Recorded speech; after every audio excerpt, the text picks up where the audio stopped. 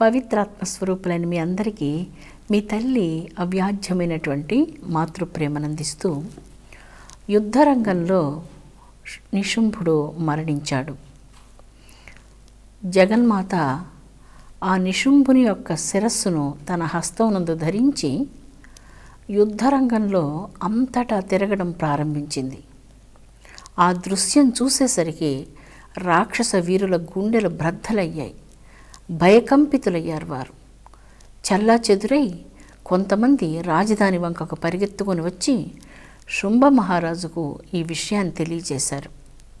శుంభ మహారాజా ఆ దుర్గ మీ సోదరుడైనటువంటి నిశుంభుని తలను నరికి తన హస్తం నందు ధరించి యుద్ధరంగమంతటా కలయ తిరగడం ప్రారంభించింది. ఆ దృశ్యం చూడగానే అందరం భయకంపితులమయ్యాం. ఓ మహారాజా శుభానికి కానీ అశుభానికి కానీ ఆ దుర్గాదేవియో లేదా భద్రకాళియో లేదా ఆ బ్రహ్మ విష్ణు మహేశ్వరులు కానీ ఆ దేవతలు కానీ కారణం కానే కాదు అనిపిస్తుంది. ఈ వీటన్నిటికీ ప్రధాన కారణం కాలం అనిపిస్తుంది మహారాజా. కాలం అనుకూలంగా లేనప్పుడు మనం ఏం చేసినా మనం ముందుకు దూకడం ఎంతమాత్రం శుభప్రదం కాదు అనిపిస్తుంది. మనకు కాలం కలిసి వచ్చినప్పుడు అంతవరకు మనం పాతాళానికి వెళ్ళి అక్కడ ఉండి కాలం కలిసి వచ్చినప్పుడు వచ్చి తిరిగి మన ప్రాణాలు రక్షించుకొని ఆ దేవతలతో యుద్ధం చేసి ఈ దేవిని భద్రకాళిని బ్రహ్మాదులను అందరినీ మనం ఓడిస్తాం. అందువల్ల మహారాజా మా అందరి అభిప్రాయం ఏంటంటే కొన్నాళ్ళైనా లేదా కొన్నేళ్ళైనా మనం వెళ్ళి పాతాళంలో దాక్కుని ప్రాణాలు కాపాడుకుందాం. మా అందరి అభిప్రాయం ఇదే. ఇక మీ ఇష్టం అంటూ ఆ దానవ వీరులందరూ మహారాజుకు తెలియజేశారు. ఈ మాటలు వినగానే శుంభుడు మండిపడ్డాడు. మిక్కిలి క్రోధంతో ఆ రాక్షస వీరులను చూస్తూ ఇలా అంటున్నాడు. ఒరి పిరిగి పందలారా మూర్ఖుల్లారా మీరు ఎవరితో మాట్లాడుతున్నారో తెలిసే మాట్లాడుతున్నారా? అసలు మీరేం మాట్లాడుతున్నారో మతి ఉండి మాట్లాడుతున్నారా? నా ప్రియాతి ప్రేమైనటువంటి సోదరుడు నిశుంభుడు నాకు మిక్కిలి ఆత్మీయులైనటువంటి చండముండులు రక్తబీజుడు ధూమ్రలోచనుడు నా మంత్రులు నా సైన్యం నా ఆత్మీయులు నా ఆప్తులు అందరూ ఆ దేవి చేతిలో వధించబడ్డారే. ఇంతమంది వధించబడినప్పుడు ఆ దేవిని గురించి నేను ఆలోచించకుండానే ఉన్నాను అనుకుంటున్నారా మీరు? ఇంతమంది ఆత్మలకు శాంతి కలిగించాలి అంటే ఆ దేవితో నేను యుద్ధాన్ని చేసి తీరవలసిందే. కాలాన్ని గురించి మీరు నాకు చెప్తున్నారు. కాలం చేసే ఇంద్రజాలం మీకంటే నాకు బాగా తెలుసు. కాలం ప్రతిక్షణం ఇంద్రజాలం వలె విచిత్రాలను సృష్టిస్తుంది.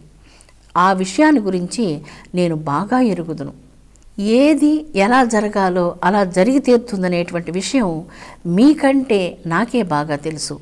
కాలం యొక్క వైచిత్ర్యం మీకంటే నాకు బాగా తెలుసు.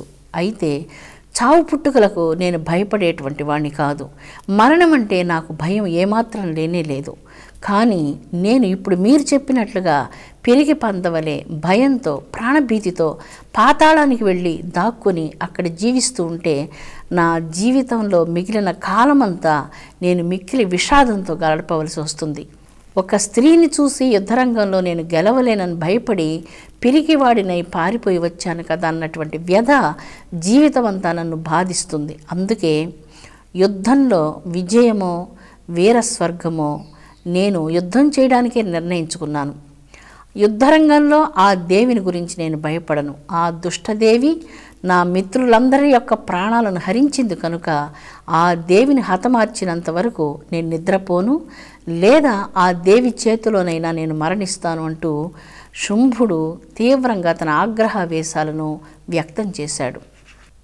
శుంభుడు దానవ వీరులతో ఇంకా ఇలాగా అంటున్నాడు. ఒక్కొక్కసారి బాగా వర్షాకాలంలో మాత్రమే పెద్దగా వర్షాలు పడుతూ ఉంటాయి. కానీ కొన్ని సందర్భాల్లో శ్రావణ మాసంలో కూడా వర్షాలు వస్తూ ఉంటాయి కదా. అలాగే మంచి ఎండాకాలంలో కూడా వర్షాలు కురుస్తూ ఉంటాయి.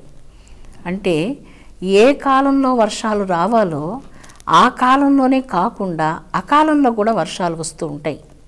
అంటే ఇది గమనించినప్పుడు కాలం చేతిలో ఏమీ లేదు అన్నటువంటిది మనకు స్పష్టమవుతుంది. కాలానికి అనుగుణ్యంగా వర్షాలు కురవడం లేదు. కొన్ని కొన్ని పనులు కాలానికి అనుగుణ్యంగానే జరుగుతున్నాయని కూడా చెప్పలేం. కాలం గొప్పదే కానీ మీరనుకున్నట్లు కాలం కంటే కూడా దైవశక్తి గొప్పది అని నేను భావిస్తున్నాను. ఈ సర్వానికి ఈ సకల చరాచర సృష్టికంతటికి మూల కారణమైనటువంటిది దైవశక్తి. ఆ దైవశక్తిని మాత్రం నమ్మేవాడిని నేను అంటున్నాడు శుంభుడు. శుంభుడు చాలా చక్కని ఆధ్యాత్మిక విషయాలు కూడా ఇక్కడ మాట్లాడుతున్నాడు. అతనికి అన్నీ తెలుసు. ఈ సకల చరాచర సృష్టికి మూల కారణమైనటువంటిది దైవం మాత్రమేనని తాను నమ్ముతున్నానంటూ ఆ దానవ వీరులతో అతడు చెప్తూ ఉన్నాడు. అతనికి అన్నీ తెలుసు. చాలా పరాక్రమవంతుడు భక్తుడు దైవ సాధనలు చేసి ఉన్నాడు. కానీ చాలా చిన్న చిన్న వ్యామోహం వలన ఇంత కష్టాన్ని తె- కొని తెచ్చుకున్నాడు. అతడు ఇక్కడ చెప్తున్నాడు. దానవ వీరులలో మిక్కిలి బలవంతులైనటువంటి వారు చండముండులు. మా సోదరుడు నిశుంభుడు కూడా చాలా శక్తివంతుడు. రక్తబీజుని జయించగలిగినటువంటి వారు ఈ లోకంలో ఎవ్వరూ లేరు. అలాగే ధూమ్రలోచనుడు కూడా చాలా పరాక్రమవంతుడు. ఇటువంటి పరాక్రమవంతులు పౌరుషవంతులైనటువంటి వారు కేవలం ఒక స్త్రీ చేతిలో మరణించారు అంటే దానికి కాలానికంటే కూడా దైవ శక్తి ఎంత గొప్పదో అర్థమవుతుంది.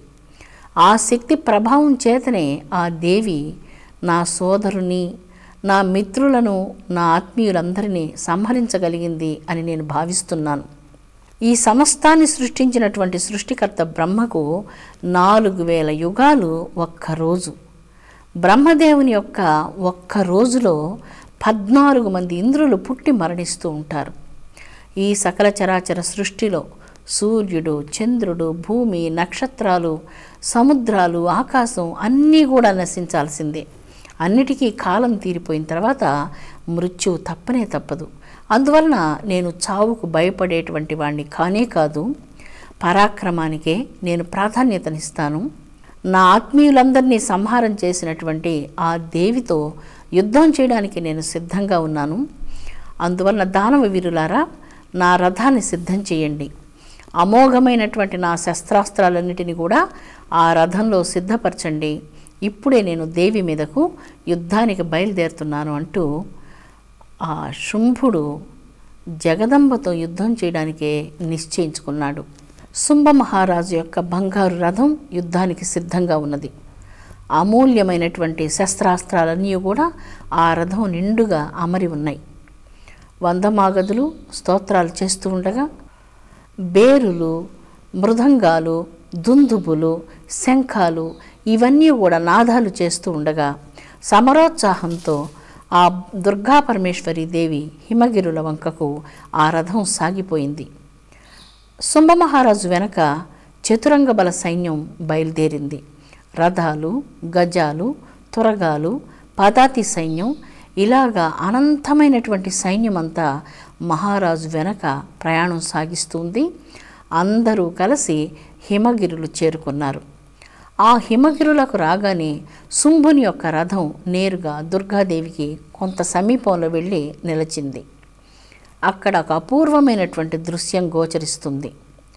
దేవతలందరూ కలిసి నందనవనాల్లో ఉన్నటువంటి పారిజాత కుసుమాలు దివ్యమైనటువంటి మందార కుసుమాలను తీసుకుని వచ్చి జగదంబను పూజిస్తూ ఉన్నారు. కొంతమంది స్తోత్రం చేస్తూ ఉన్నారు కొంతమంది పాటలు పాడుతూ ఉన్నారు. ఆ జగదంబిక మనోహరమైనటువంటి శంఖనాథం చేస్తూ ఉంది. తన చేతిలో ఉన్నటువంటి గంటను మ్రోయిస్తూ ఘంటానాథం చేస్తూ ఉంది. ఒక్క క్షణం సుంభ మహారాజు జగదేక జనని అయినటువంటి ఆ దుర్గా పరమేశ్వరి దేవిని వీక్షించాడు. ఆ జగన్మాత మిక్కిలి కోమలంగా ఉంది. బహు సుకుమారంగా ఉన్నది. ఆ దేవి యొక్క దివ్యమైనటువంటి తేజస్సు బ్రహ్మాండాలంతటా వ్యాపిస్తుందన్నట్లుగా బంగారపు కాంతులను వెదజల్లుతున్నటువంటి మిక్కిలి సౌందర్యభరితమైనటువంటి సుకుమారమైనటువంటి శరీరంతో ఉన్నటువంటి ఆ జగదంబను చూడగానే అతడు ఆశ్చర్యచకితుడవుతున్నాడు. ఇంత సుకుమారంగా ఉన్నటువంటి ఈ దేవి మహాబలవంతుడు శక్తివంతుడు దేవతలందరినీ గడగడలాడించినటువంటి నా సోదరుడు నిశుంభుని ఎలా సంహరించగలిగింది? ధూమ్రలోచనని సంహరించినటువంటి దేవి ఈ దేవియేనా? రక్తబీజును సంహరించినటువంటి దుర్గా ఈ దేవియేనా? అతడు ఆశ్చర్యపోతున్నాడు. చండముండాసురులనేటువంటి రాక్షసులు అరివీర భయంకరులు. మిక్కిలి తపస్సు చేసి ఎన్నో వరాలు పొందినటువంటి వారు. వారిని సంహరించగలిగినటువంటి వారు దేవతలలో ఎవ్వరూ లేరు.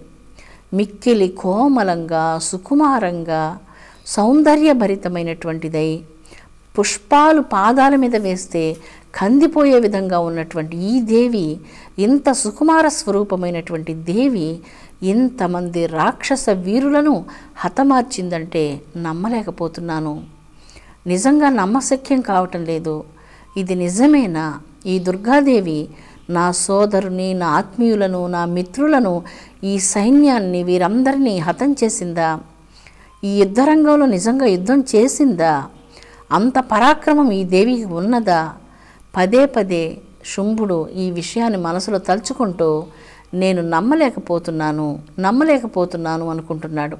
అతడు నిజంగా ఆ దేవి ఇంత సైన్యాన్ని సంహారం చేసింది అంటే ఇంత పరివారాన్ని మట్టు పెట్టింది అంటే అతడు నమ్మలేకపోతున్నాడు. సుందర సుకుమారమైనటువంటి కోమలమైనటువంటి ఈ దేవి ఎక్కడ? మిక్కిలి బలసంపన్నులు కారు మేఘాల్లాగా ఉన్నటువంటి వారు కొండల వలె నల్లని కాటుక కొండల వలె ఉన్నటువంటి రాక్షసులు మహాశక్తి సమన్వితులైనటువంటి రాక్షస వీరులు ఎక్కడ? ఈ దేవి ఎక్కడ? కేవలం ఒక్క స్త్రీ ఇంతమంది రాక్షస వీరులను తన చేతులారా సంహారం చేసిందంటే నమ్మలేకపోతున్నాను. నేను నిజంగా నమ్మలేకపోతున్నాను అంటూ అతడు తన మనస్సులో ఆ దేవుని గురించి తలుచుకుంటూ ఇది నిజంగా సంభవమేనా? ఇంతమంది ప్రాణాలను ఈ దుర్గాదేవి హరించిందా? ఇంత శక్తి ఈ దుర్గాదేవికి ఉన్నదా? అంటూ ఎలాగా ఈవిడను లొంగ తీసుకోవాలి? సామదాన భేద దండోపాయాలలో ఏ ఉపాయంతో ఈ దేవిని లొంగదీయాలి అంటూ ఆలోచిస్తూ ఈ దేవి సామ దానాలతో లొంగేటువంటిది కాదు. అందువలన ఈ దేవితో యుద్ధం చేసి యుద్ధంలో వీర స్వర్గమో లేదా విజయమో నేను వరించాలి అంటూ శుంభుడు ఆ రథంలో నిలచి దేవిని చూస్తూ ఇలాగా ఆలోచిస్తూ ఉన్నాడు. శుంభ మహారాజు వచ్చేసరికి దేవతలందరూ ఆ హిమగిరులలో జగదంబ యొక్క పావనమైనటువంటి శ్రీపాదాంబుజాలకు మందార పుష్పాలతో పారిజాత పుష్పాలతో పూజ చేస్తూ ఉన్నారు. జగన్మాత మంత్రాలలో నకదీతితి సంచన్న నమజ్జన తమోగుణ అంటూ ఒక మంత్రం ఉంది. అప్పుడే వెన్నెల వికసిస్తుంటే ఎలా ఉంటుంది? పౌర్ణమి రోజు. అలాగా అప్పుడే ఉదయిస్తున్నటువంటి కోటి చంద్రులంతటి చల్లని పండు వెన్నెల కాంతి వంటి కాంతులు కలిగినటువంటివి శ్రీమాత పాదాలకు ఉన్నటువంటి నఖములు అంటే గోర్లు. చీకటి ఎప్పుడు దట్టంగా ఉంటుందో వెన్నెల రాగానే ఆ చీకటి తగ్గిపోతుంది. ఆ పండు వెన్నెల కాంతులలో సర్వం స్పష్టంగా గోచరిస్తుంది. అంధకారం ఉండదు. అదేవిధంగా జగదంబ పాద పద్మాలకు దేవతలు ఎప్పుడైతే నమస్కరిస్తూ ఉన్నారో వారి అంతరంగంలో ఉన్నటువంటి అంధకారం నశిస్తుంది. నేను నాది అన్నటువంటి తమస్సు నశిస్తుంది. శంకరాచార్యులు కమనీయంగా ఒక చక్కని శ్లోకంలో ఇలాగా చెప్తారు. అవిజ్ఞానం అంతస్తిమిర మిహిర ద్వీప నగరి జడానాం చైతన్య స్తబక మకరంధ శృతి జరి ఓ జగన్మాత నీ పాదాలకు ఉన్నటువంటి దివ్య కాంతులు అవిద్య అన్నటువంటి అహంకారంతో జన్మకోట్లుగా అంధకారంలో ఉన్నటువంటి జీవునకు సూర్య కాంతిని వెదజల్లేటువంటి సూర్య నగరం వంటిది అంటున్నారు శంకరాచార్యులు. ఆ సూర్యనగరం కోట్ల సూర్యుల కాంతిని వెదజల్లేది. ఆ జగదంబ యొక్క పాదాలకు ఉన్నటువంటి గోరు కోట్ల చంద్రుల కాంతిని వెదజల్లేది. ఇటువంటి కాంతి వలయాలు కాంతి లహరులు విరజిమ్మబడుతున్నటువంటి కాంతులు కలిగినటువంటి శ్రీ పాదాంబుజాలు కలిగినటువంటి దేవి యొక్క పాదాంబుజాలకు దేవతలు పూజ చేస్తూ ఉన్నారు. శుంభుడు దేవిని చూస్తూ ఇలాగ తలుచుకుంటున్నాడు. ఈ దేవి చూసేందుకు బాహ్యంగా చాలా సౌకుమార్యంగా కనపడుతుంది.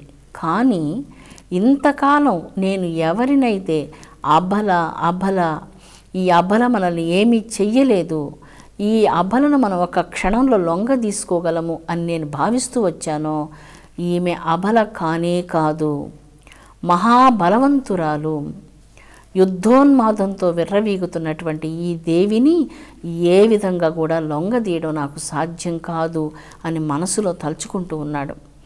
సామధాన భేద దండోపాయాలలో ఏ విధమైనటువంటి ఉపాయంతో ఈ దేవిని నేను లొంగ తీయలేను అని ఇంకా తమస్సులో శుంభుడు అలాగా తలుచుకుంటున్నాడు. దేవతలు ఆ జగదంబ పాదాలను పూజించి తమ అంతరంగాన్ని వెలుగులతో నింపుకుంటున్నారు. ఇది రాక్షసులకు దేవతలకు ఉన్నటువంటి తేడా. అమృతాత్మస్వరూపులారా ఆ దేవి పాదాంబుజాలను భక్తితో స్మరించండి. దానివల్ల మన జీవితంలో ఏనాడు అంధకారం ఉండనే ఉండనేరదు. అమ్మ శుభప్రదమైన బుద్ధిని శాంతియుతమైనటువంటి దివ్య జీవితాన్ని ప్రసాదిస్తుంది. విశ్వశాంతి వర్ధిల్లునుగాక. ఓం శాంతి శాంతి శాంతి